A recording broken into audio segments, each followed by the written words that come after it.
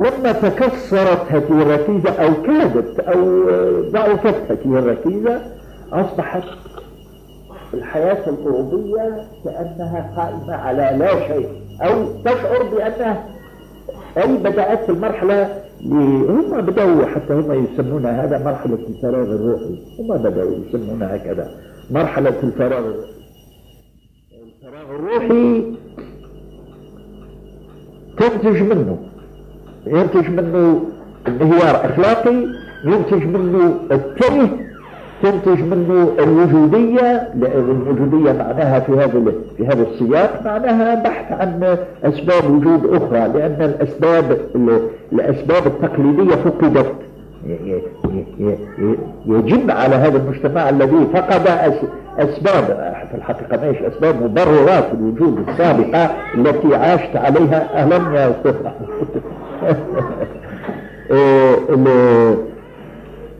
المبررات التي عاش عليها المجتمع الأوروبي في عنفوان شبابه وفي وفي قمة حضارته. هذه المبررات بدأت تفقد جدوى جدواها في في الثقافة الأوروبية في النفوس الأوروبية في النفوس الأوروبية بحيث هذه النفوس بدأت تشعر بفراغ. بدأت تشعر بفراغ في الفراغ هذا إما يمتلي بالتفاهات مثل الوجودية مثل مثل أشياء أخرى الانحلال الأخلاقي أو يمتلي بطريقة أخرى موش يمتلي يعوض. يعوض الفراغ أو يحول الفراغ إلى بعملية تناسي. بعملية تناسي ننسى هذا ننسى هذا الفراغ أحسن.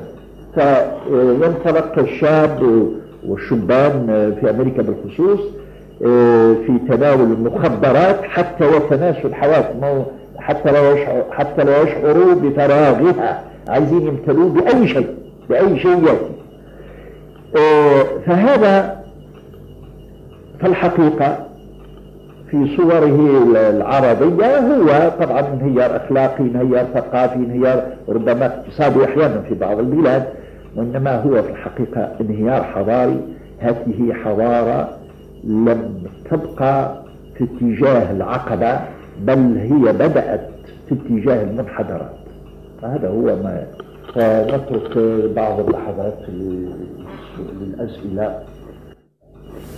يعني حاولنا إنه نعيد حضارة إسلامية. نعم. هي مع ما تتضارب مع المشكلة القومية واختلاف ثقافات البيئة الإسلامية بصوره عامة في البلاد الغربيه. يعني اختلاف نعم. مفهوم الثقافه الاسلاميه. آه طبعا. ومفهوم تضارب القوميات. هي ما بتحب من النشاط الإسلامي أو إعادة الحضارة الإسلامية. نعم. آه الحلول نعم. الحلول تأتي أولا بطبيعة المسيرة التي نسيرها اليوم. فلما وهذا من يجب أن يتقدم ويسبق تأسيس الحضارة الإسلامية في هذه المجتمعات يجب أن يتقدمها أن يتقدمها تصفية كل النتائج السلبية والتجارب السلبية التي عشناها والتي سعينا إليها سعينا إليها سعي سعي الإنسان الذي يريد سعي المنتحر للموت كما كما يسعى المنتحر للموت. يجب أن تقع أولا أن تفشل هذه التجارب كلها. وإحنا, في وإحنا نرى أننا في هذه المرحلة من الحياة في هذه المرحلة أحسن نقول من القرن العشرين نرى أننا فعلا على وشك آه على وشك الاستيقاظ. الاستيقاظ اليقظة في اليقظة من تشريع كل التجارب التي سبقت ومنها تجربة ما تسميه بنتي القوميات. القوميات حتى حتى في أوروبا فشلت. القوميات في أوروبا فشلت. الفكرة أتتنا من أوروبا. وفي عقر بيتها فشلت كما نعلم لأن أوروبا أصبحت الآن تؤسس كيانها مثلا الاقتصادي خصوصا على مفهوم جديد وهو السوق آه، مثلا المشترك الذي يضم عشر دول من أوروبا. معناه أنها أدركت أن القوميات أضرت بوجودها وفعلا القوميات أضرت بوجودها في هذا آه، منذ بداية هذا القرن منذ بداية القرن ظهر ظهر الضرر اللي ألحقته القوميات بمصير أوروبا. فنحن الآن أيضا تقريبا آه، في نهاية هذه المرحلة. ربما والمرحلة كانت ضرورية أيضا لا. يجب أن لا آه، يجب أن لا أن لا نذكر بعض الجوانب آه، الإيجابية في ما قامت به فيما قام به مفهوم القومية في الحقبة التي قامت بها الشعوب العربية والإسلامية بمقاومة الاستعمار. قد يكون أفاد مفهوم قومية قد يكون أفاد أنا لا لا أنا لا أعتقد هذا. الحقيقة لا أعتقد هذا ولكن معليش لا لا يضيرني أن أسلم بهذا مبدئيا. جدالا أن أسلم لا يضيرني وإنما أقول القومية أضرت أولا بمن شيدها وهو أوروبا. وانتقلت إلينا عن طريق عن طريق ملتو عن ملتويات عن ملتويات وطرق ملتوية. نعرف بعضها ربما ولا نعرف بعضها الآخر. أه ولكن إحنا الآن أظن أيضا في منعطف تاريخي مثل أوروبا.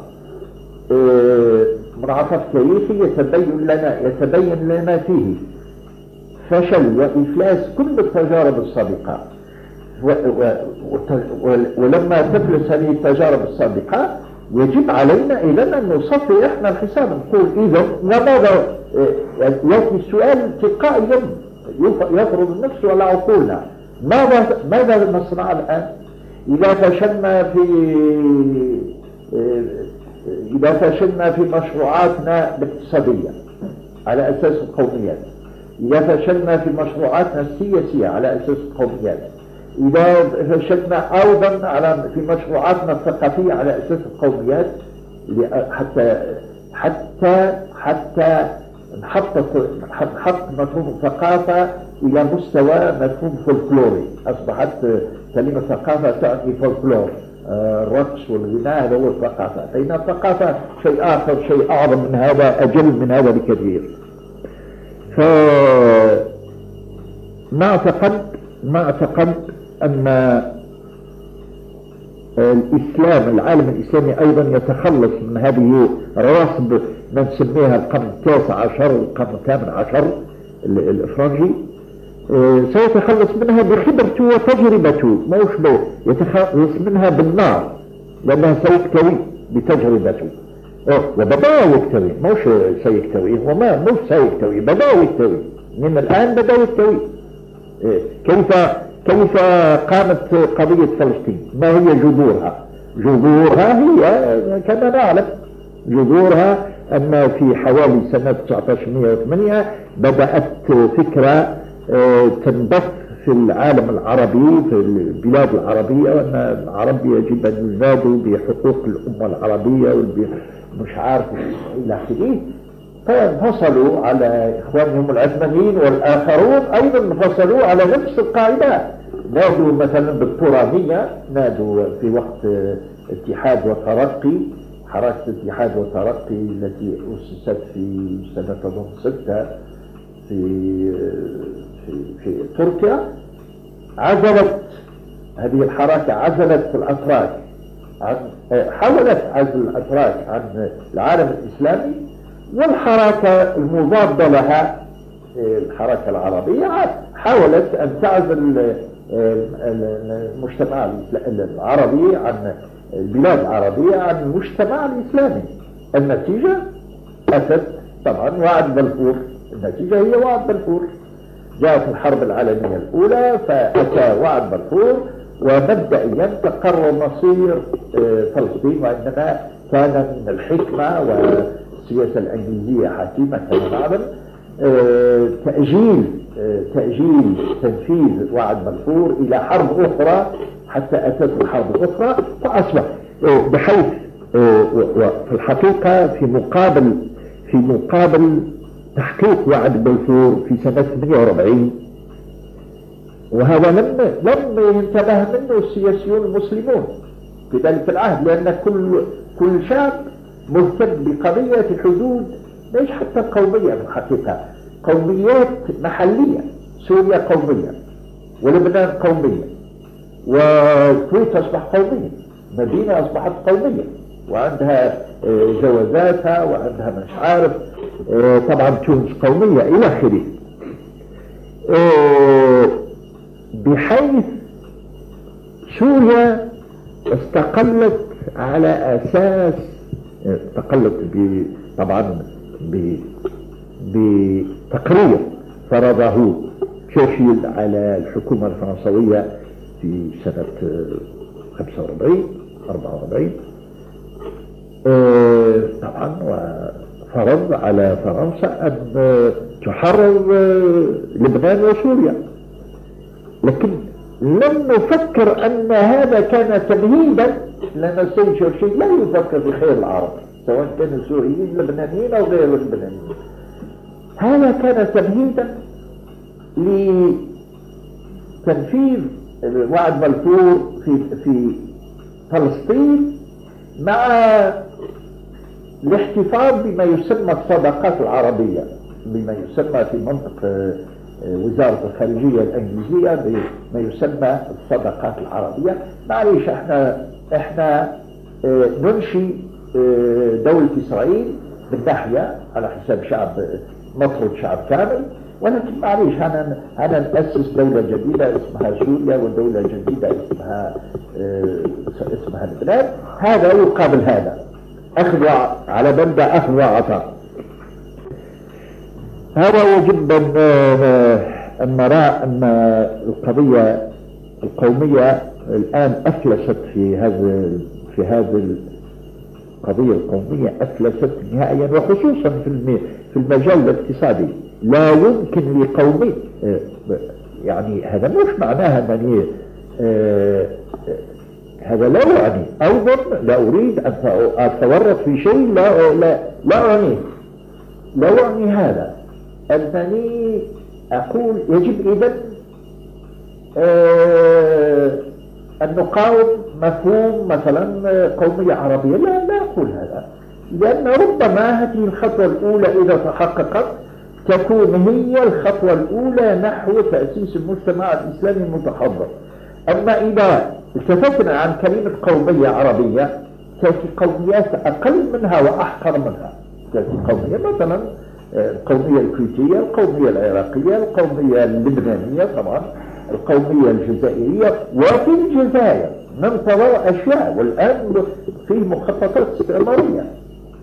كما حدث سنة 20 آه، سنة سنة أظن 36 تقسيم سوريا إلى الشام تقسيم الشام إلى لبنان وسوريا. الآن يفكرون هناك من يفكر في تقسيم الجزائر إلى بلاد بربرية وبلاد عربية. هناك من من يفكر في تقسيم البلاد بحيث قد تتأسس في بلادنا وعلى أرضنا قومية ثانية. القومية الجزائرية والقومية البربرية والقومية العربية. هذا هو ما أرى آه، طبعا آه، أنت تتصرف الآن أنت اللي تتصرف بنتي أنا نزلت في بدعوة من الجامعة الإسلامية في خرطوم سنة 39 مع أهلي. فوجدت جوا إسلاميا مرموقا. ونشاطا مباركا وإنما شعرت بأن هناك شبه تمزق داخلي في النطاق الإسلامي فخشيت عليهم بسبب هذا التمزق الداخلي. فحاولت أن أجمعهم في حلقة واحدة لأرفق الخلق. ففي الليلة التي اجتمعنا فيها تغيب أحد الطرفين